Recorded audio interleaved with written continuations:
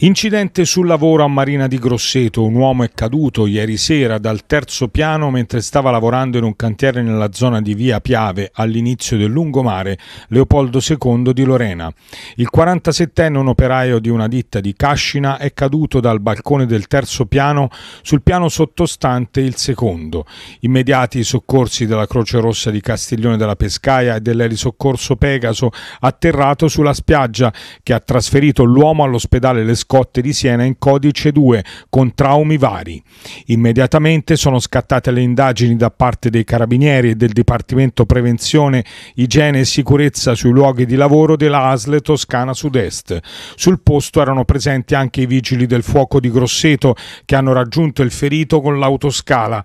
Le condizioni dell'operaio, seppur gravi, non sono tali da pregiudicarne la vita.